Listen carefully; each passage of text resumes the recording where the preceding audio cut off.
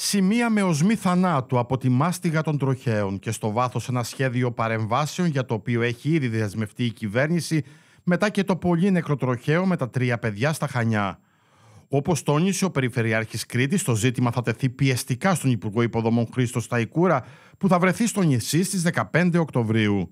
Και τα έργα τα οποία αφορούν στο βόρειο δικό άξονα θα μπορούσαν να ήταν ολοκληρωμένα πάνω στην οδική ασφάλεια, οριζόντια, κάθετη σήμανση, αντιολιστήρο τάπητας, ε, κάποιοι κόμβοι που χρειάζονται και είναι έτοιμες οι μελέτες, είναι εγκεκριμένες οι μελέτες. Όμως, όταν ένα Υπουργείο έχει 6 δις ανεκτέλεστο πρόγραμμα, ε, δεν μπορεί να μην δίνει Άρα, σε περιφερειακό επίπεδο να μην δίνει να δημοπρατήσει και να σας πω, δεν θέλει την περιφέρεια για διάφορους λόγους. Ο οργανισμός Ανάπτυξη Κρήτης. Η περιορισμένη αρμοδιότητα της περιφέρειας σε αυτές τις παρεμβάσεις θωράκισης είναι ένα σοβαρό ζήτημα που αποτελεί τροχοπέδι για τον Σταύρο Αρναουτάκη, που στη διάρκεια της εκπομπής Ωρα Εχμής αποκάλυψε τα λεγόμενα σημεία που θα βρεθούν στο επίκεντρο και στις τέσσερις περιφερειακές ενότητες του νησιού.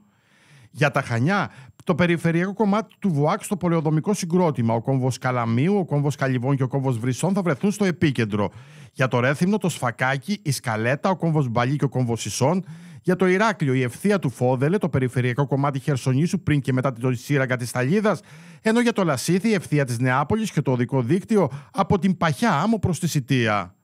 Δεν θα περιμένουμε μετά από πέντε χρόνια, μετά από 7 χρόνια την ολοκλήρωση του δρόμου τώρα θα ξεκινήσει το έργο, το νέο χρόνο, ούτως ώστε τα περισσότερα τμήματα να μπορούν να είναι ολοκληρωμένα. Μπορεί να μην είναι όλα, αλλά τα πιο επιχίνδυνα να μπορούν να είναι ολοκληρωμένα μέχρι να ξεκινήσει και να γίνεται ο βόρειος οδικός άξονας. Όσον αφορά το μείζον θέμα του μεταναστευτικού, ο Περιφερειάρχης άστραψε και βρόντιξε για την τεράστια στασιμότητα μετά και τις δεσμεύσεις του πρώην Υπουργού Μεταναστευτικής Πολιτικής, αποκαλύπτοντας πως ήδη έχουν μπει στο μικροσκόπιο δύο στρατόπεδα σε Ηράκλειο και Χανιά για τους χώρους προσωρινής φιλοξενίας, χωρίς όμως να ανοίξει περαιτέρω τα χαρτιά του.